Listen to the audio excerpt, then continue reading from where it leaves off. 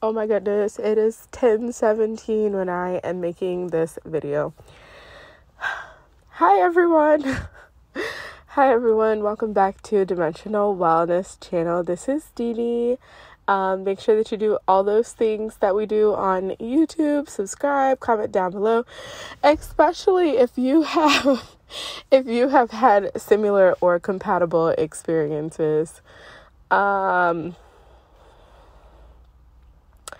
Today is going to be a story time that's going to connect with the previous story time that I did uh, with the Akashic Record reading. And now that I'm thinking about it, um, maybe these experiences are, excuse me, connected to each other. Um, I'm sorry, there's like a lot of energy, and sometimes when there's like a lot of energy around something, I get very, very winded. It gets very hard for me to like talk without sounding winded.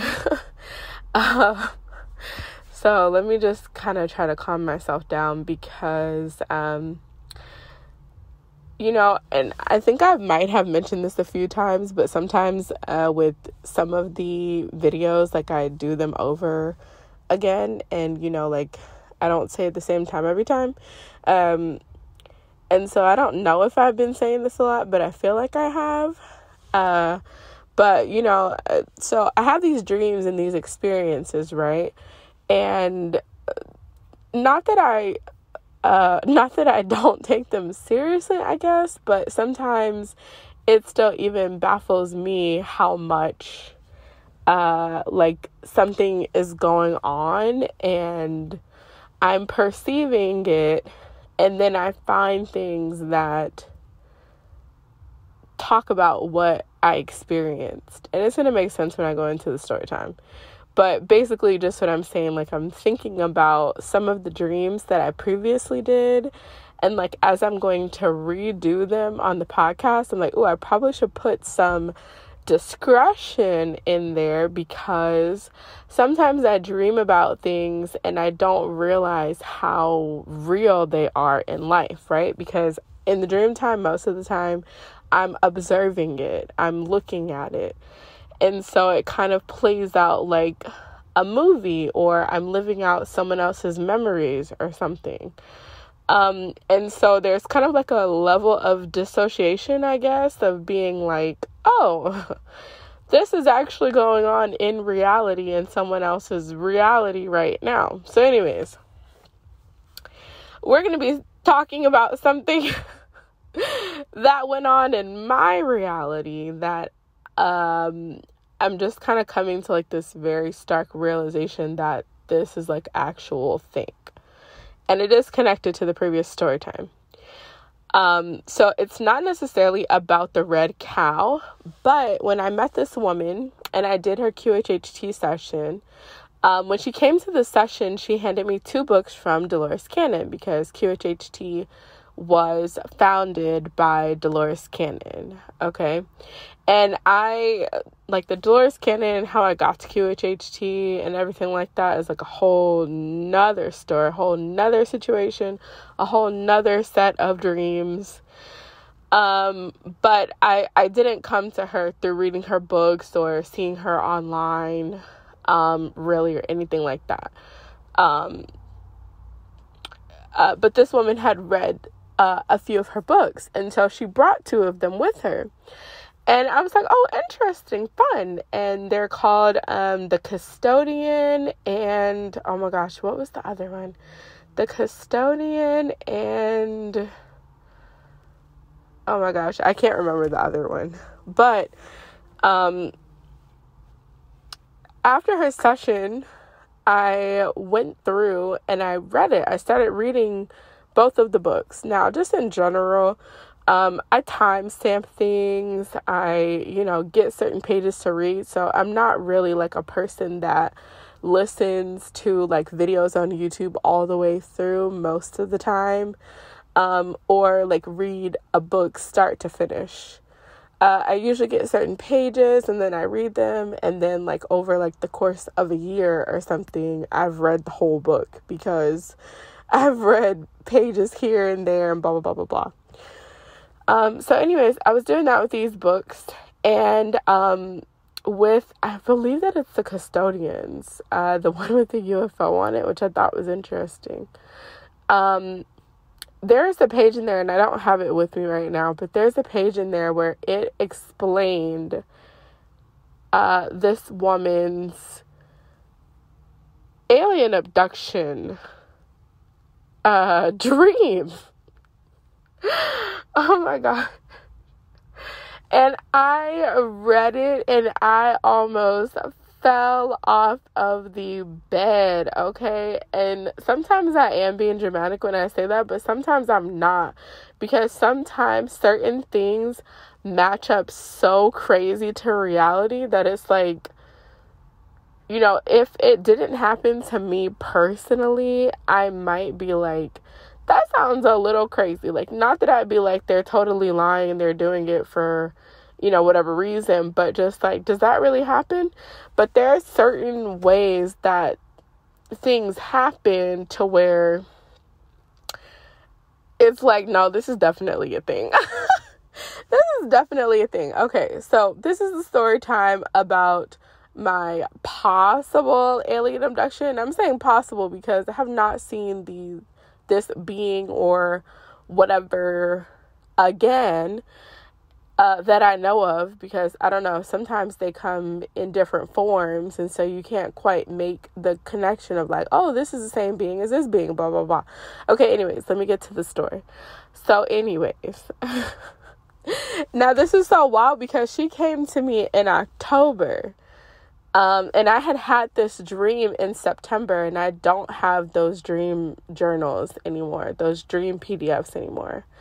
Um, I ended up deleting it. I'm like, ugh, it was just like on a whim that I just deleted everything. So I was really like upset because I feel like I wasn't getting the information I was asking for.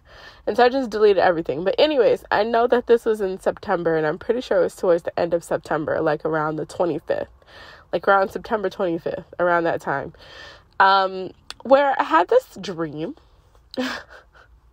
and there was a lot of crazy stuff happening, okay? Because I feel like I have to bring it back a little bit. There was a lot going on in September. And I think that maybe I just got overwhelmed and I was just like, all of this stuff is happening and like that's cool, but that's not what I asked about. Like, I'm still over here trying to manifest money for this hotel that I'm building. I'm trying to manifest money for savings and kids, and like all these things going on are cool, but that's not what I asked about. It September was wild. Like, really, the last year has been wild AF. I'm not gonna lie to you. So, okay, let me calm down again. Okay. Okay. So, at the beginning of September, I had a dream, and this is this is crazy because I'm calling these dreams, but I don't wholeheartedly believe that all of these are dream experiences. I do believe that like I'm astral traveling to different places when I'm sleeping um, and actually experiencing uh, other aspects of life. And then I wake up and I'm back in my reality. Well, until recently, which is a whole nother story. But there was a dream that I had on September 13th, and I know that this specific day because I actually ended up it was like such a startling dream that um that I actually woke up and and I uh voice recorded it. So when the dream or experience whatever is just like super wild, I voice recorded. And so I voice recorded this one. So on the 13th, I'm not getting to the whole things. I don't want to make it too long. I could go on and on about this. Um, but I don't want to get too long winded into it. But um, basically, overall, in this dream, um, I was able to see that there are certain people who are so advanced, and I not all of these people do. I think actually practice. I think certain people, um, you know, just I don't know how, but some people are advanced where they're actually able to project not only into your dream space, um, but also through your dream space to influence your actual physical reality. So, this would be like me being able to tap into someone's dream and through their dreamscape to impact what's going on in their body while they sleep. This is what I was experiencing. And it was crazy. it was crazy because there's like a whole other aspect of this that I'm going to leave out that's also really critical. But what I will say is that there was this uh, deity that came to visit named Ea, E A, Ea. Um, but also sometimes called Enki. And I'm pretty sure that this is also Poseidon. Okay, who also could be Ptah, who also could be related or connected to Patricks and I feel like Patrick's are priest of Ptah. Uh, that's like a whole nother story, but anyways. So that was going on. This Enki Ea being started showing up not only in my reality, but in two other friends that I know. Um, and stuff just, I don't know, stuff started getting crazy. So, anyways, I had that dream. And so, in this dream around the 25th, um, I have been doing some more research on this being, trying to figure out, you know, kind of like what the deal was. And when I went to sleep, I went to sleep. And in the dream, um, we're gonna call this version of myself DDA. Okay. So DDA, which is me right now consciously talking to you. I was looking at another version of myself that we're to call DDB. Okay. Which is funny because my maiden name does start with a B. We're to call it DDB. Okay. And DDB was huge. Like, definitely bigger than five two. Really five three, five four on really good days. but bigger than five two. And she was like a projection. I don't know how to describe this.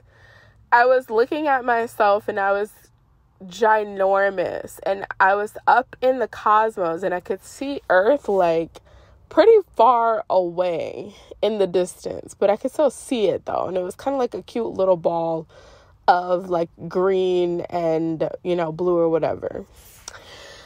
Um, and when I was looking at myself, I was kind of sort of transparent a little bit. And um, it was almost like I was uh, uh, I had so much information streaming out of my body. It was like my body was like maybe a holographic projection of myself or something, but that body was filled with like just tons and tons and tons of information. Like in movies, when you know, somebody's getting like a life review or something, or like they have died and they're getting like a life review, and you see like all these flashes and memories and stuff. That's what I was seeing. It was like taking my whole body, and not only was it taking up my body, but I was actually projecting three different timelines. I feel like it was timelines out of my body towards Earth. Okay. I wish I knew how to draw so I could post pictures of these things because it was wild. And when I tell you DDA, which is which is me, um, I was flabbergasted. I was like, what am I actually looking at right now? Because this version of myself was just streaming information. Just streaming information and then sending it back to earth, okay? Um and like there was no consciousness. Like I was the conscious aspect, she was like the projection aspect, I guess, or also like transmitter and receiver. She was receiving and transmitting. Um and this was off to my right, okay? So it was like my whole right side was taken up with this. And I started to feel this sensation of like, why am I being so pulled to the right? Let me look to the left. And so when I looked to the left, I saw DDC. Okay. And when I saw DDC, she looked relatively normal, like this version of myself, but she was sitting in like a dentist chair. And so as I'm sitting, I'm seeing her in this dentist chair. I'm like, why in the world are we sitting in a dentist chair? And so I start walking towards DDC because I'm like, what are we doing? I couldn't tell if she was moving. Like, I didn't know if she was okay. So, anyways, as I get close to her, I start to morph into DDC. And so now DDA and DDC are one, and DDB is still over there projecting consciousness or whatever she's doing. So as I'm sitting in the chair, this this dentist chair, and it's got like this huge big old white light, and it looks like it reminds me a lot of my QHHT session, and there was like this light machine, and it looked like uh kind of reminiscent of those cars that pour concrete where it's like that big old barrel that's spinning and then you see the concrete. But instead with this one it's like a big old barrel and it's light coming out like a light beam coming out of it. And so anyways it was like over me like a dentist chair and then I realized that both of my arms are strapped down to this chair. And I'm like, whoa, hold on, what's going on here? Why am I strapped down to the chair? So I'm like, okay, what is going on here? You know, because I'm in the dream world. And I really, really, really think that because life is so crazy in this world as well, it takes a lot for me to gain awareness. You know, I think for like certain people where they still believe that reality is like sane, I guess, it'd probably be really easy for them to look at certain things and be like, this is clearly a dream. But honestly, in this reality, there's so much crazy stuff going on that I'm not even sure if this is not the dream. Do you know what I'm saying? And so I'm like, I guess this is a thing. Like, I really don't even know how I got in the cosmos. I don't even know how I got in the cosmos strapped up to a dentist chair, but here we are. And so then all of a sudden, I kid you, I literally kid you not, all of a sudden, there's this big, huge being. Now, I have no clue how to describe this being, but the best way I can describe you, describe to you what he looked like was like a huge rock formation that was living. I have no clue. He had these striation kind of patterns, like um, kind of sort of like the rocks in Sedona. When you get to like the um really really nice rock formations and there's like you know patterns of different colors of the rock. So there's like red and brown and stuff. So this being was it had red and brown striations kind of like that um and it wasn't quite a rock. I really don't know what it was, but that's the best way that I could say it. And it was humongous. It was big, like Michelin man big, like huge. And he came over there. And in true DD fashion, because this really is how I am in general, okay? Because I really don't have time to play. I was like, Who are you? I'm like, first of all, who are you? Okay. and what the hell are you?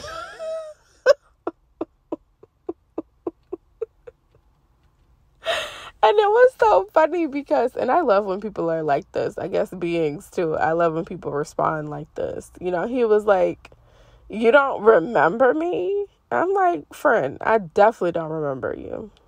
You know, like when, you know, I don't have time really most of the time for like the semantics of like, you know, this whole phase of like, I don't really know you and you don't really know me and all this like weird stuff where we don't, uh, like, I talk to everybody like I talk like we've known each other because I don't have time for the other stuff. And so he was like, You don't remember me? I'm like, Should I remember you? Because no, like, the, I'm trying to think of the last time I saw some weird rock being that's like 20,000 feet tall. Actually, let me check my memory bank. I clearly do not remember you. Like, absolutely not. And so then, like, I, I kid you not, this is like real life in the dream world. So after I confirmed to him that I have no clue who in the hell he is, and he had like a very human voice. I will say that he had a human voice. He sounded like a human white man with black hair. I don't know. That's my story, and I'm sticking with it. He sounded like a white man with black hair. Okay, I don't know. He did sound human, um, a male. He literally shapeshifts into a praying mantis and is like, "What about now?" And in my mind, I'm like, am I the one ta- like am I the one am I the one taking crazy pills because he literally just went from a whole rock to a praying mantis and that was supposed to trigger something. And I'm like, "No. No, I don't know who you are." I'm like, "What is your name?" And so, anyways, by this time, he's like irritated with me because I don't remember him. And I'm like really racking my brain. I'm like, we've got a praying mantis friend. Like, is this imaginary friend? Like, where in the world would I even meet a, a talking praying mantis or a talking rock band? I'm like, am I even on Earth? Like, is that even really a real thing? Because he seems really offended. Like, we we were talking last week. Like, we went to school together or something. So I'm like, what is wrong? okay, maybe it's me. Maybe I'm the one drinking crazy sauce because maybe it's me, okay? I don't know. And so anyway, so he um he's like annoyed or whatever. He's like, oh, just stay still. I'm like, okay. And so he takes my hand, which is still strapped to the dentist chair situation, which I'm like, this have nothing to do with my teeth. Oh, look, my hand is starting to like hurt talking about it, which is so weird. Um, so, anyways, he's like, just stay still. And I'm like, like I can go anywhere, friend. Like I can really go anywhere anyway. And so he literally takes this huge needle, and I'm like, where are you about to stick that? Because it's a no he takes his huge needle and he sticks it into my palm and it hurt so badly. I was like, ouch. You know, I'm like screaming. I'm like, get away from me.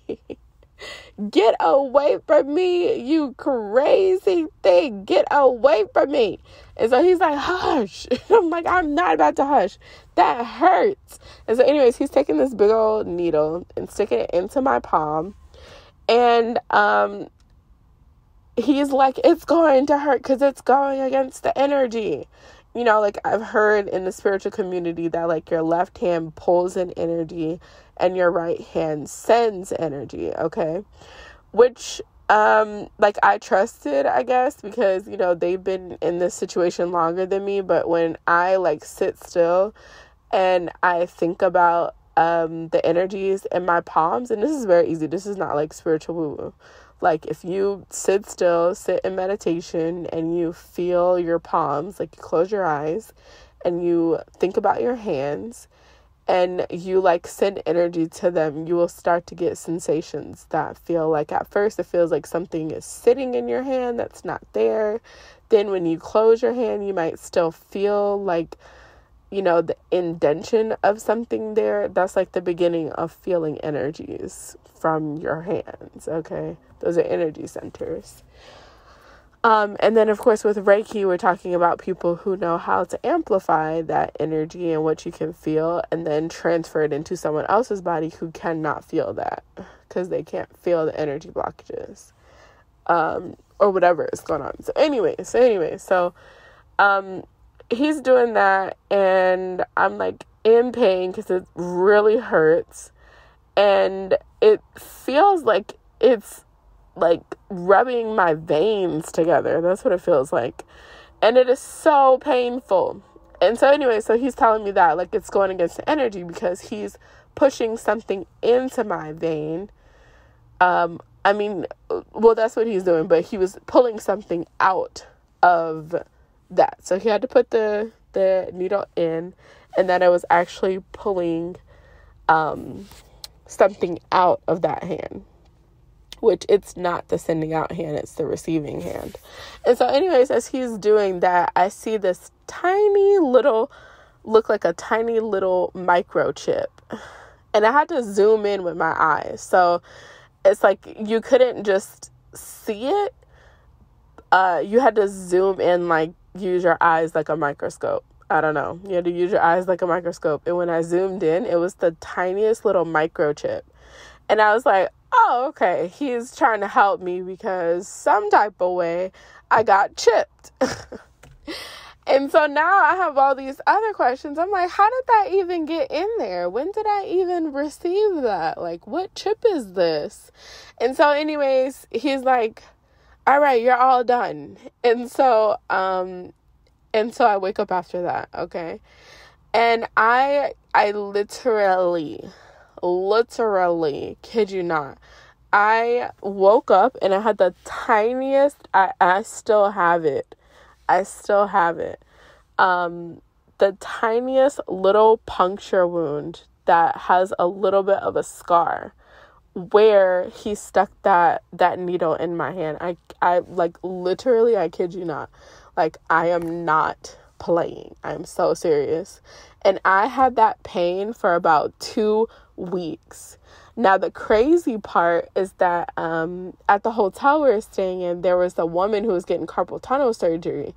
And I remember thinking, like, it's so crazy because um, if I had not had that dream and so vivid of what was going on in that dream, uh, I would I would have thought that I had carpal tunnel like I I wouldn't have thought that there was like some weird being in my dream pulling out a microchip from my palm. And it's so funny cuz I know that that sounds crazy as hell, but um I have come to know that this reality uh the truth is a lot stranger than fiction. It's a lot stranger than fiction. Uh it's wild and so that's exactly what I read in the book. It was like there are beings, there are people who have strange alien extraterrestrial encounters where um, the beings show up as mantis beings um, there's usually a lot of pain associated to it. There's usually some type of medical experiment or experience or something going on, and they usually carry the pain back with them. And when I read that, because up until that point, now this is like a month later, like I had the dream, and you know, I don't know, like maybe for certain people, they would like immediately research into it. But I have so much crazy stuff happen in dreams that sometimes I'm just like, I don't even know what to say about that. Like, I don't even know what to do with that. I don't know where to put it. And so I'm just going to wait until it comes back around. And like so, with this book, um, it came back around because I didn't even meet this woman until the next month. So it was like she was put specifically in my path. Um, one of her guides or something told her specifically to bring these two books.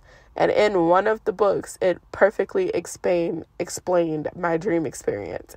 And she had no clue about that. And I, I'm telling you, I almost fell off of the bed. I'm like, what is life?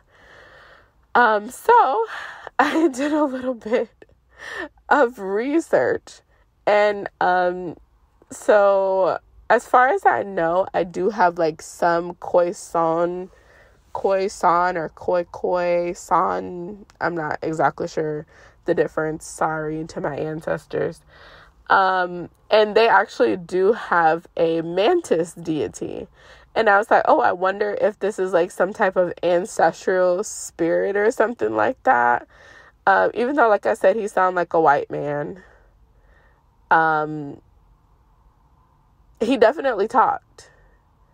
And he definitely had like an air of like he was in charge. And he was definitely offended that I did not remember him. And he was annoyed by that. And I'm like, okay, like, I must be missing, I must be really missing something. And he was actually coming to help me out because I've been chipped. And it has so many questions, but it's like in the moment when you're like in it it's like so much going on that it's like I don't even have time to ask the questions and everything like that. Like I don't even have the time. to ask all the questions that need to be asked. But, but yes, that is my story time about a possible extraterrestrial encounter. oh my goodness. I I'm really hoping that there are going to be people in the comments that are like, "Yeah, totally have interacted with them before." And this is what the deal is. totally hoping for that. Okay, my friends. Well, I will see you. I will see you in the next video. Bye.